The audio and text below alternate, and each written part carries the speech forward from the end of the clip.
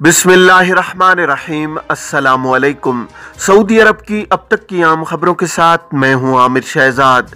अगर आप भी सऊदी अरब के हालात तो वाक़ात से बाखबर रहना चाहते हैं तो वीडियो को पूरा देखिएगा। बढ़ते हैं खबरों की जानब और शामिल करते हैं पहली खबर।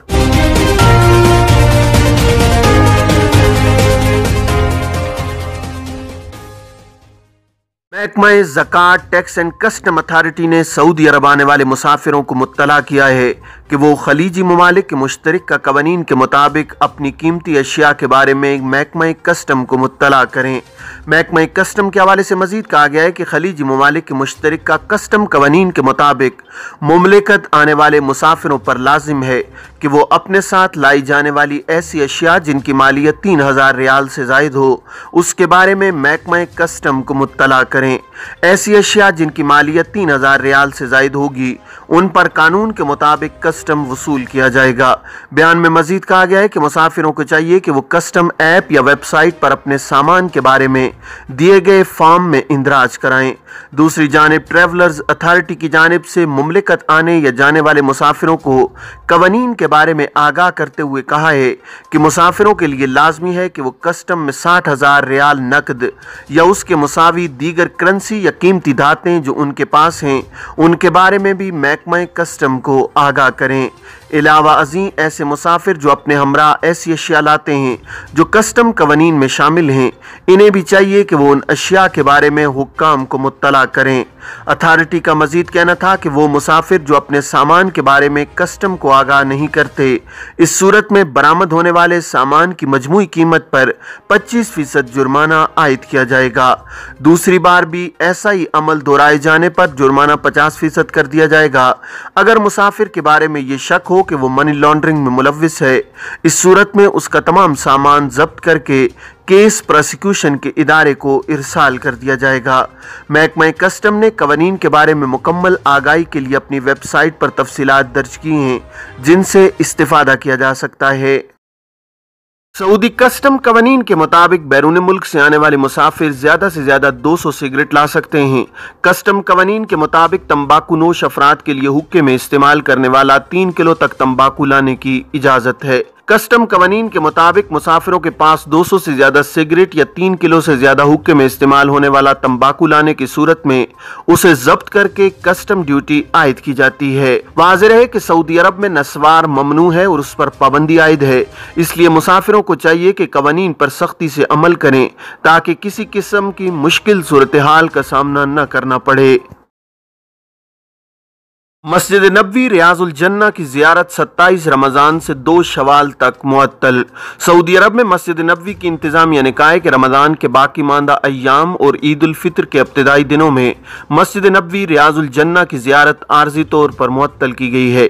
सरकारी खबर एजेंसी एस पी ए के मुताबिक मस्जिद नबी की इंतज़ामिया ने फैसले की वजाहत करते हुए कहा है कि सत्ताईस रमज़ान बमुताबिक अट्ठाईस अप्रैल से दो शवाल तीन मई दो हज़ार बाईस तक रियाजुल जन्ना की जियारत मअतल की गई गई है। ये फैसला जायरीन और नमाजियों की सलामती के पेश नज़र किया गया है। बयान में कहा गया है कि मस्जिद नबी की इंतज़ामिया चाहती है कि ज़ायरीन सहूलत और आसानी के साथ ज्यारत करें और इन्हें मस्जिद नबी में ज्यारत का मौका बेहतर शक्ल में मुहैया हो। मस्जिद नबी इंतज़ामिया का कहना है कि रमज़ान के दौरान मस्जिद नबी में हाजिरी और रियाजुल जन्ना की ज्यारत से लाखों अफराद ने फ़ायदा उठाया है। तरावीख तहजद और ईद उलफ़ितर की नमाज़ में शिरकत के ख्वाहिशमंदों की तादाद बढ़ती जा रही है। इसी तनाजुर में रियाजुल जन्ना की जियारत आर्जी तौर पर बंद करने का फैसला किया गया है। एक हफ़्ते में मलबूसात और जूतों की खरीदारी पर एक इशारिया चार अरब रियाल खर्च। सऊदी सेंट्रल बैंक सामा ने सत्रह से तेईस अप्रैल 2022 के दौरान एक हफ़्ते में ममलिकत भर में अखराज के अदाद शुमार जारी किए हैं। अखबार 24 के मुताबिक सामा ने बयान में कहा है कि गुजशत हफ़्ते के दौरान एक सौ बारह इशारिया चार मिलियन ऑपरेशन के ज़रिए दस इशारिया चार अरब रियाल खर्च किए गए हैं, जो इससे पहले वाले हफ़्ते के मुकाबले में चार इशारिया तीन फ़ीसद ज़्यादा हैं। सार्फिन ने मलबू बुसात और जूतों पर एक इशारिया चार अरब रियाल खर्च किए, जो इससे पहले वाले हफ़्ते के मुकाबले में ज़्यादा हैं।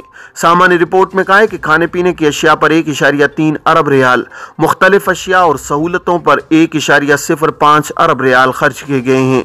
रेस्टोरेंट्स और कहवा खानों पर एक इशारिया सिफर चार अरब रियाल, सेहत पर सात सौ अट्ठारह इशारिया पिचासी मिलियन रियाल, ट्रांसपोर्ट पर छः सौ आठ इशारिया छत्तीस मिलियन रियाल, पेट्रोल स्टेशनों पर पाँच सौ पचानवे इशारिया सिफर पाँच मिलियन रियाल, जेवरात पर तीन सौ तैंतालीस इशारिया चौबीस मिलियन रियाल, होटलों पर तीन सौ तैंतालीस इशारिया बारह मिलियन रियाल खर्च हुए हैं।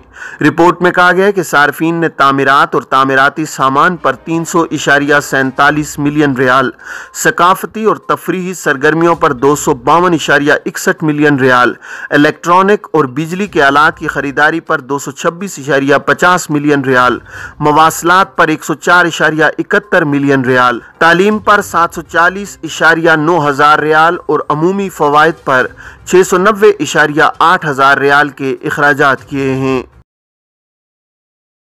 सऊदी अरब का एक लाख इलेक्ट्रिक गाड़ियाँ खरीदने का मुआदा सऊदी अरब ने अमेरिका की लोसेट मर्सिडीज कंपनी के साथ आइंदा दस साल में पचास हज़ार से एक लाख तक इलेक्ट्रिक गाड़ियाँ खरीदने के मुआदे पर दस्तखत किए हैं, ताकि सड़कों पर माहौल दोस्त गाड़ियों में इजाफा किया जा सके। अरब न्यूज़ के मुताबिक वजारत खजाना के एक बयान में बताया गया है कि यह मुआदा सऊदी विजन ट्वेंटी थर्टी के कलीदी मकासद की हिमायत में एक अहम इकदाम है। वाजर है की सऊदी अरब इलेक्ट्रिक गाड़ियों को मुमलिकत में तैयार करने के लिए लोसेट के साथ मिलकर यहाँ यहाँ पहला इलेक्ट्रिक व्हीकल मैन्युफैक्चरिंग प्लांट लगाने का इरादा रखता है, जिसका मकसद 2030 तक दारुलकूमत रियाज में चलने वाली 30 फ़ीसद गाड़ियों को तेल के बजाय बैटरी पर मुंतकिल करने को यकीनी बनाना है।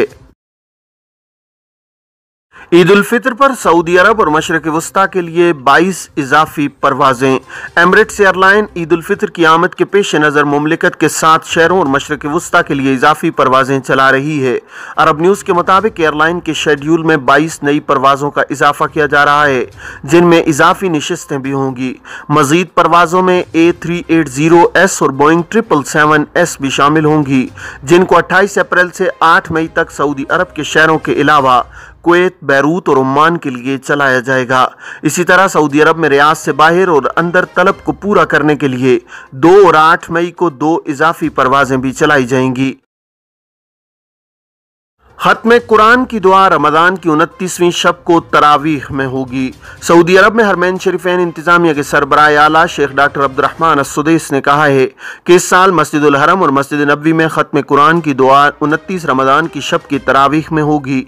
आला क़्यादत ने यह फ़ैसला मुसलमानों के मफाद उनकी सलामती की खातिर किया है। हरमैन इंतज़ामिया वेबसाइट के मुताबिक डॉक्टर अब्दुलरहमान असुदेस ने कहा है कि रमज़ान की सत्ताईसवीं शब के मौका पर मस्जिद हरम में ज़ायरीन की तादाद रमज़ान रमज़ान के आखिरी अशरे की हर रात से ज़्यादा थी। उनकी सलामती और आराम के तमाम इंतज़ाम किए गए थे। उन्होंने ज़ायरीन से कहा कि वो एक दूसरे का ख्याल रखें, नरमी से पेश आए और सुकून से काम लिया जाए। मस्जिद हरम के आदाब की पाबंदी की जाए। ज़ायरीन उम्र के दौरान फोटोग्राफी से गुरेज करें वजारत हज उम्र। सऊदी वजारत हज उम्र ने कहा है कि ज़ायरीन खाना काबा का तवाफ़ और सफ़ा मरवा की सही करते हुए फ़ोटो और वीडियोग्राफी से गुरेज करें। यकसू होकर इबादत की जाए, हद से ज़्यादा फोटोग्राफी इबादत के माहौल को मुतासर कर रही है। वजारत हज उम्र ने ट्विटर पर बयान में कहा है कि मस्जिद हरम में उम्र के दौरान फोटोग्राफी इबादत में खलल पैदा कर रही है। फोटोग्राफी के दौरान करीब से गुजरने वालों की रूहानी काफियत मुतासर होती है।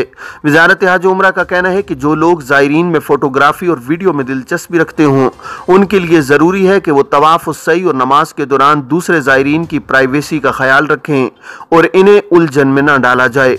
वजारत हज उम्र ने रमदान के आखिरी अशरे में अजदाम के पेश नज़र ज़ायरीन को मशवरा दिया है कि वो नए मास्क का इस्तेमाल करें, तवाफ़ और सही में तेज़ी न दिखाएँ। मस्जिद हरम में ज़्यादा सामान न लाया जाए। ये थी अब तक की आम खबरें, अब तमाम अहबाब के कीमती वक्त का बहुत शुक्रिया। अपना, अपने इर्द गिर्द के लोगों का बहुत सारा ख्याल रखिएगा। मुझे दीजिए इजाज़त। असलकम वरहमल वर्का